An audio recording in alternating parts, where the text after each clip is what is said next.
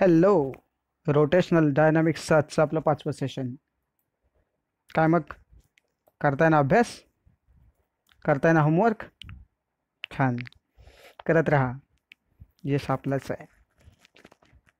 तर मित्रांनो आज आपण ॲप्लिकेशन्स ऑफ यू सी एममधलं चौथं ॲप्लिकेशन बघणार आहोत जे आहे कोनिकल पेंडुलम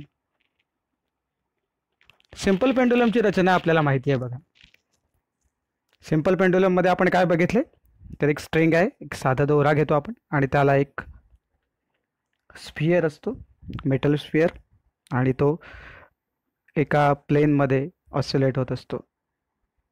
आणि कोनिकल पेंडुलम म्हणजे काय? तर कोनिकल पेंडुलममध्ये त्याच्या नावातच आहे कोण तयार होतो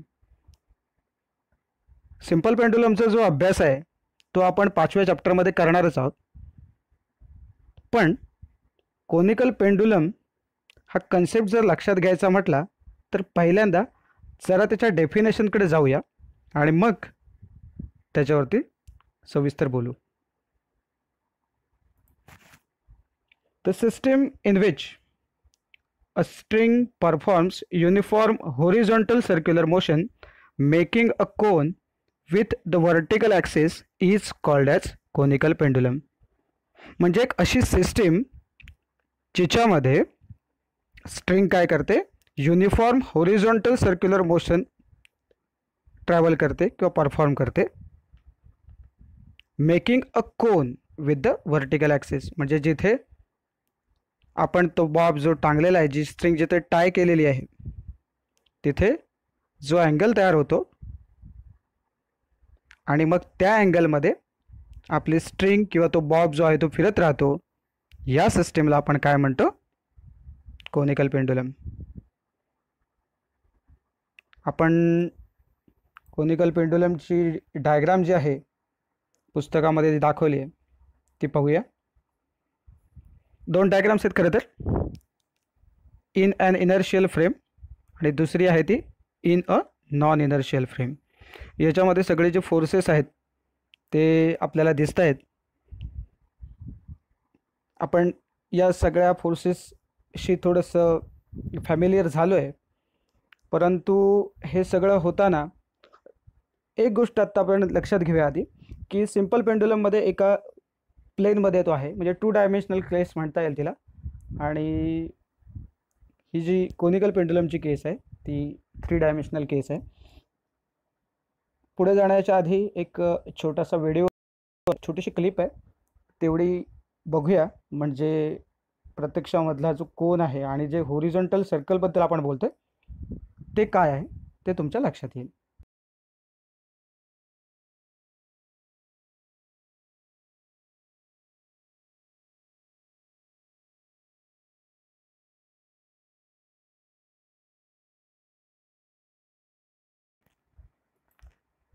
Let L be the length of the string म्हणजे ही जी स्ट्रिंग आहे ए बी जे तुम्हाला दिसते इथे, ही ए बी ही स्ट्रिंग आहे.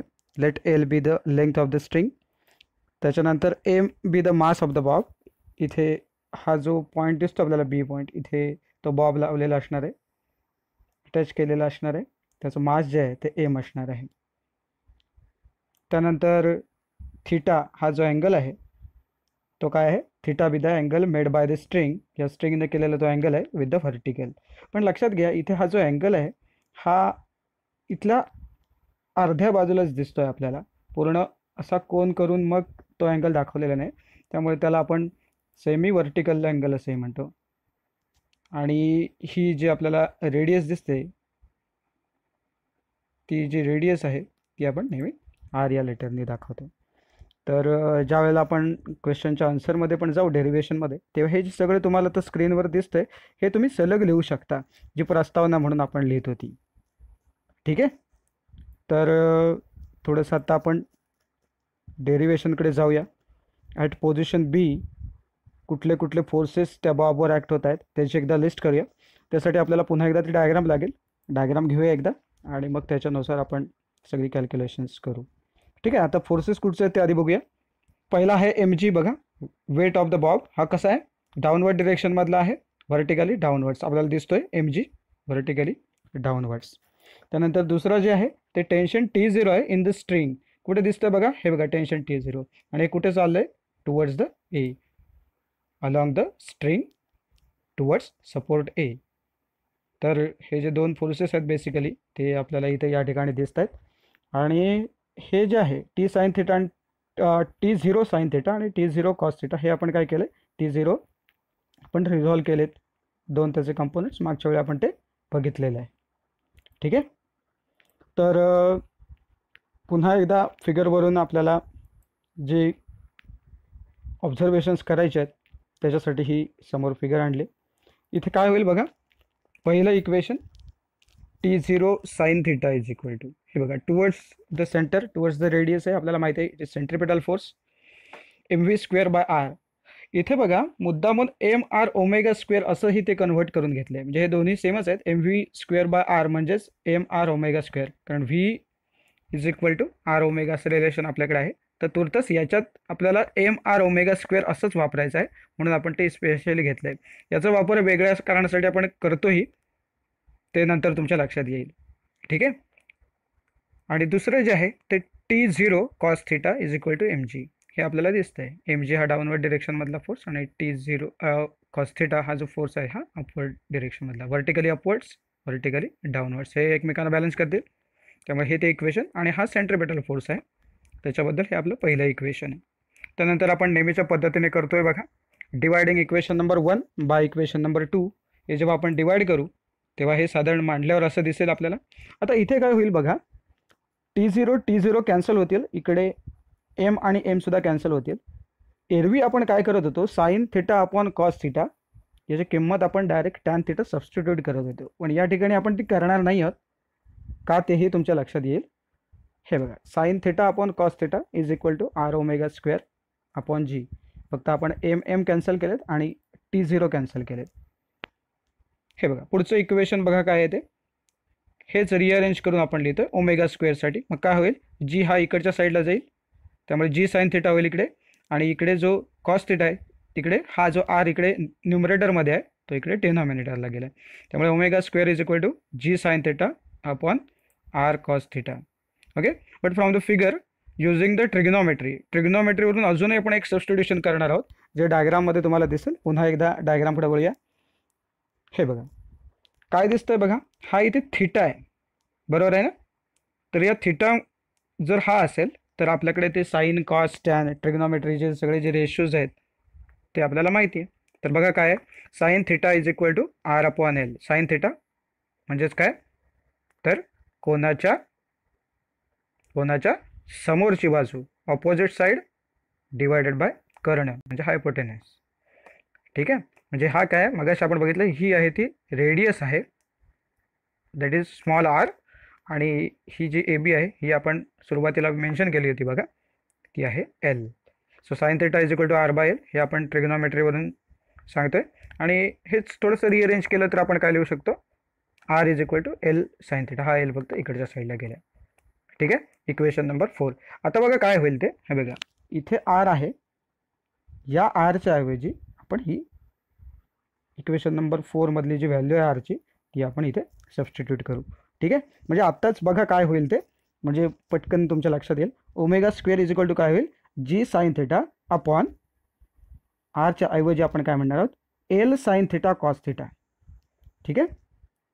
बरोबर? येतं लक्षात? आणि मग त्याच्यामुळे काय होईल?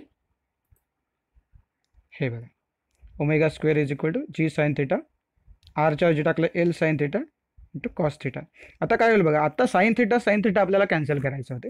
तर पुढच्या स्टेपमध्ये आपण ते कॅन्सल आउट करून टाकू. Sine theta sine theta cancel out केलं आपण आता शिल्लक काय राहिलं बघा g upon L cos theta is equal to omega square ठीक आहे? आता ओमेगाची किंमत आपण याच्यावरून काढू शकतो.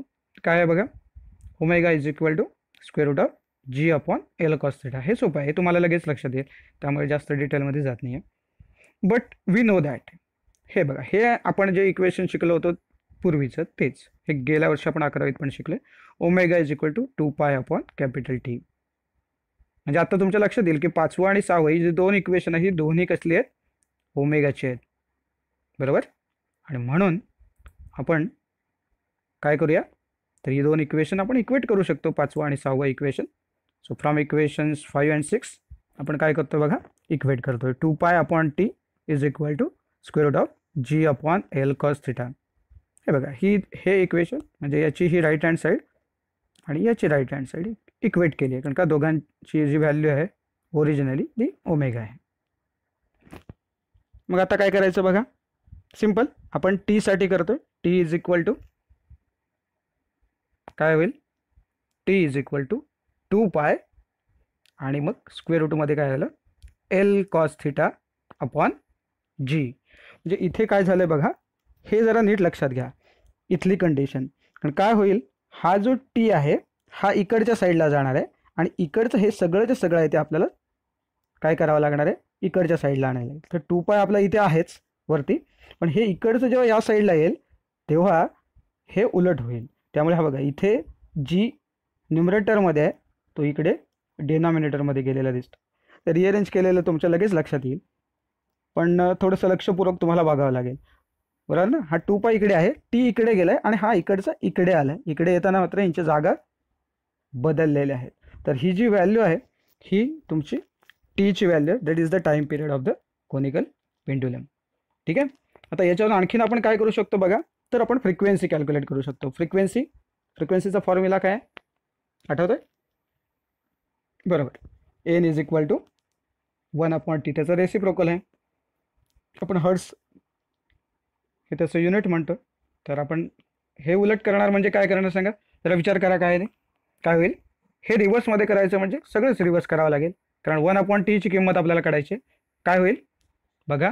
बरोबर. म्हणजे काय होईल बघा? इथे हा टू पाय तो खाली जाणार म्हणजे वन अपॉन टू पाय होईल. आणि हे उलट होईल.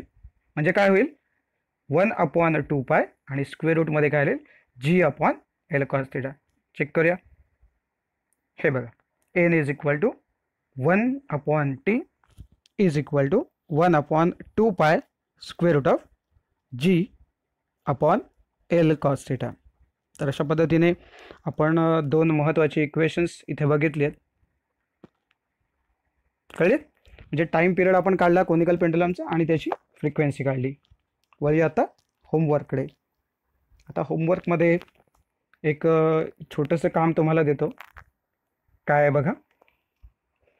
Obtain the formula for the linear speed of the bob and semi vertical angle of the conical pendulum हे तुम्हाला थोडंसं एक छोटंसं डेरिवेशन करायचं आहे बघा.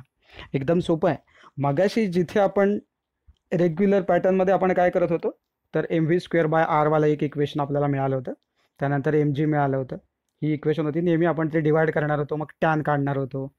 टॅन थिटा इज इक्वल आपल्याला माहिती आहे ते v square upon r g वगैरे मिळतो. बरोबर ना? हां. म्हणजे तिथे आपल्याला काय मिळेल? तेच जर इक्वेट आपण केलात तर तुम्हाला काय मिळणार आहे बघा? तिथे तुम्हाला व्हीची व्हॅल्यू मिळेल. तिथे व्ही असणार आहे. एम व्ही स्क्वेअर बाय आरमधली बरोबर? तर तिथे व्ही पण असणार आहे. तर ते एकदा काढून बघा. म्हणजे तिथे तुम्हाला लिनियर स्पीड मिळेल. आणि तोच रिअरेंज केलात तर तुम्हाला थिटा पण मिळून जाईल. जसं मागच्या एका याच्यामध्ये आपण बघितलं आहे अँगल ऑफ बँकिंगसाठी बरोबर ना? तिथे आपण थिटा केलं tan theta is equal to असं एक इक्वेशन मिळालं होतं. बरोबर? आणि मग नंतर काय केलं होतं आपण? तो टॅन इकडच्या साईडला नेला होता. म्हणजे theta is equal to tan inverse of something ते जे काही येईल हा तुमचा त्यातला डेरिवेशनचा पार्ट असेल. येतं लक्षात? तर काही अवघड नाही. एकदा ट्राय करा. पुस्तकामध्ये मिळणार नाही आहे त्यामुळे थोडंसं थोडंसं डोकं लावा. काही फार असं अवघड रॉकेट सायन्स वगैरे असं त्यातलं काय नाही आहे ओके? प्रयत्न करा. आणि ज्या पद्धतीने तुमचा प्रयत्न चालू आहे ज्या पद्धतीने न्यूमेरिकल्सची उत्तरं येत आहेत खूप छान वाटतं आहे आणि असेच प्रयत्न करत राहा. यश आपलंच आहे.